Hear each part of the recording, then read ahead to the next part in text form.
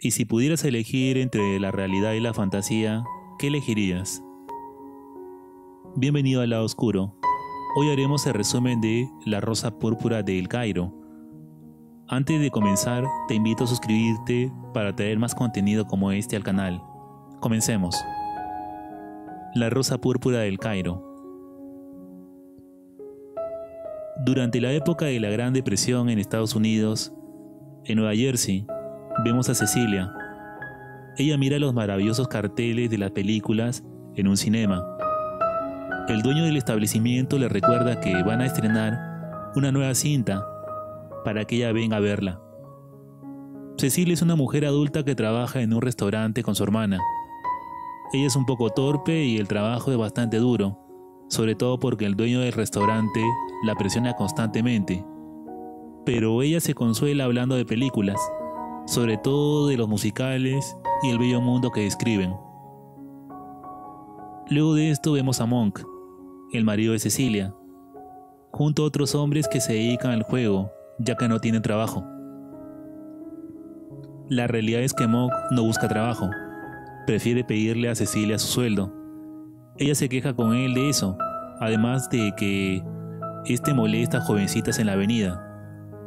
De todas formas, ella lo invita al cine, pero él no desea ir, prefiere estar jugando al dado con sus amigos. Luego de ignorarla se despiden. Cecilia nuevamente está en el cinema en donde la conocen. Se está estrenando La Rosa Púrpura del Cairo. Esta es la historia de un rico dramaturgo en Manhattan llamado Henry, que se va de vacaciones exóticas a Egipto con sus compañeros Jason y Rita. Mientras están en Egipto, los tres conocen al arqueólogo Tom Baxter. Él les cuenta que está buscando la rosa púrpura del Cairo, una flor de leyenda que crece en la tumba del faraón. Ellos hacen amigos y le invitan a Manhattan, en donde él se enamora de la cantante Kitty Haynes, una cantante del club nocturno de lujo, el Copacabana. Volviendo a la realidad, en el trabajo de restaurante, Cecilia sigue siendo regañada por lo patosa que es. Aún con todo, no deja de comentarle a su hermana de lo bello que le parece el mundo de las películas. Otro día va con su hermana para ver nuevamente la película anterior, pues le ha gustado mucho. Cuando regresa temprano a su casa encuentra a su marido con otra mujer, discute con él por la traición y le dice que lo dejará, aunque él no le cree. Ella sin embargo toma sus cosas y se va. Va por la ciudad buscando dónde quedarse. En el camino se cruza con Emma, una merectriz que busca clientes. Muy en la noche Cecilia vuelve a su casa porque no hay lugar donde quedarse. Al día siguiente, su hermana hace de casamentera con ella y le procura una cita con un hombre al que ha dado su visto bueno. Él es un encargado de trabajar con pesticidas. Lamentablemente, la torpeza le gana nuevamente y rompe platos. Y el dueño del local, harto ya de ella y sin contemplación, la despide. Muy triste de haber sido despedida nuevamente, va nuevamente al cine a ver otra vez la rosa púrpura del Cairo y la vuelve a ver una y otra vez y otra vez y continúa viéndola. En ese momento Cecilia se da cuenta de algo en Tom Baxter este le está mirando, o parece mirarla.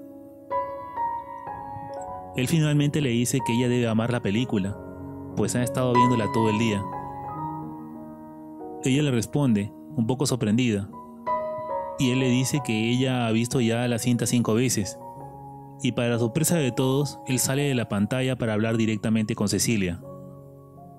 Sus compañeros de pantalla le dicen que vuelva, que están en medio de una historia, pero él los ignora. Él se presenta con Cecilia y luego la lleva afuera para hablar mientras asegura ser libre. Tom Baxter huye con Cecilia, que le pregunta si no quiere casarse con Kitty Haynes en la pantalla, a lo cual él le dice que no, que ella está demasiado huesuda. En el cine, la acomodadora y el administrador hablan del incidente con los personajes de pantalla. Ambos grupos están confundidos, no saben qué ha pasado. El dueño quiere que sigan, pero sin Baxter no pueden, por más que digan que ellos son los protagónicos. Aún así, se niega a que apague la proyección. Baxter y Cecilia van a un parque de diversiones abandonado. Él le dice que la ha estado mirando durante las proyecciones.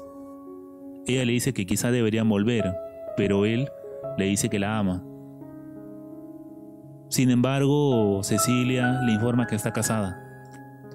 En el cinema los personajes de pantalla comienzan a discutir con los espectadores, que se quejan de que la película no avanza. Cecilia regresa más tarde a su casa y le miente al marido para ir a ver a Baxter. Llegan los distribuidores de la película para saber la situación, ya que los espectadores se van. El dueño del local llama a los productores diciéndole la situación. Ellos se asustan de las consecuencias económicas de esto y se comunica con el actor que hizo el papel de Baxter.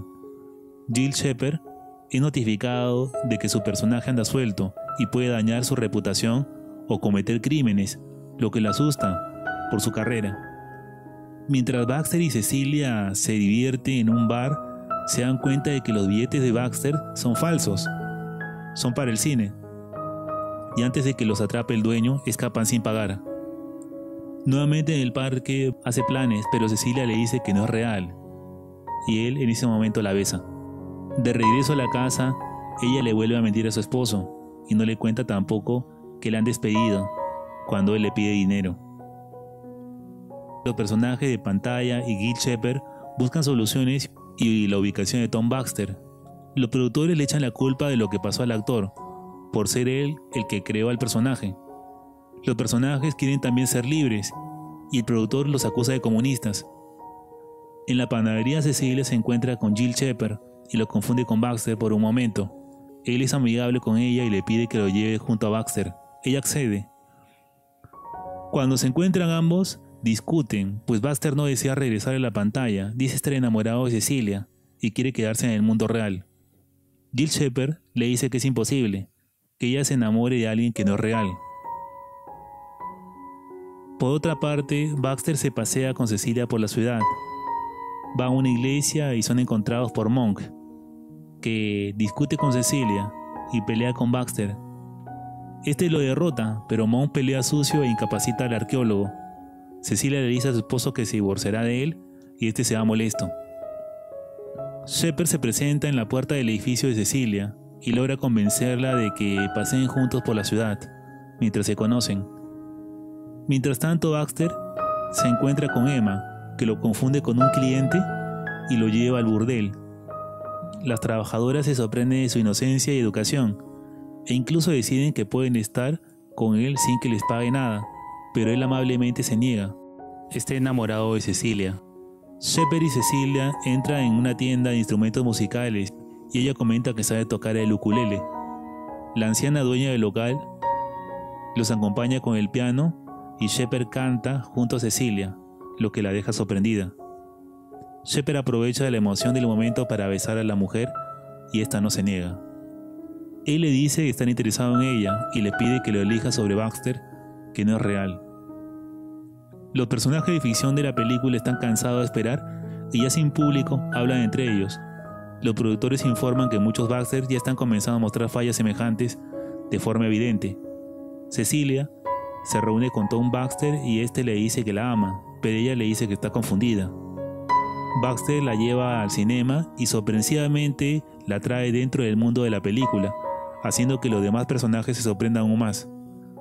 Una vez, todos reunidos, deciden ir al Copacabana, tal como pasaba en la película, pero esta vez con Cecilia. Ella está maravillada del espectáculo. Los personajes se dan cuenta también de que Cecilia es real y Baxter les dice que pueden hacer lo que quieren. Esto sume al Copacabana en un caos. Aprovechando esto, Cecilia y Baxter pasean por la ciudad visitando diversos bares y divirtiéndose. Cuando están en una habitación de un rascacielos, aparece Shepard del otro lado y le dice que está celoso, pues no deja de pensar en Cecilia. Ambos salen de la pantalla para discutirlo.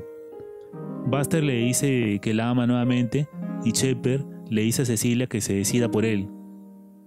Este último también le dice que pueden huir juntos hacia Hollywood, dejándolo todo. Ella parece dudosa, pero finalmente Cecilia decide dejar a Baxter y salir con el personaje real, Kit Shepard. Baxter se entristece y se despide de ella, volviendo a la pantalla. Cecilia va rápidamente a su casa para sacar sus cosas antes de partir con Shepard hacia Hollywood. Tiene una última discusión con Monk, en donde le dice que lo abandona, mientras él le dice que volverá, pues esa es la realidad.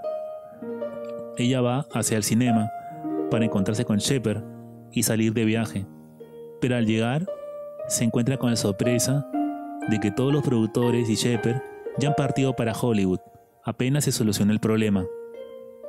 Ella se da cuenta allí que las afirmaciones amorosas de Shepard eran solo un engaño.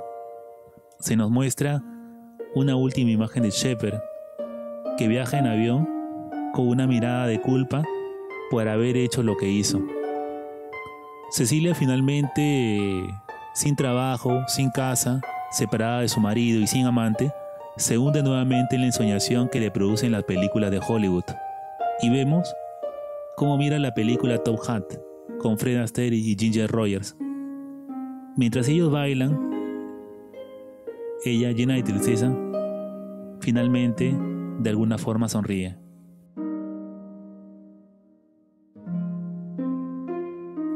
Fin. Y bien, este ha sido mi resumen de La Rosa Púrpura del Cairo, película del director Woody Allen. Quizás el final no es para aquellos que esperan un happy end, pero esto no le quita el mérito de ser una de las mejores películas. Yo la recomiendo sin ninguna duda.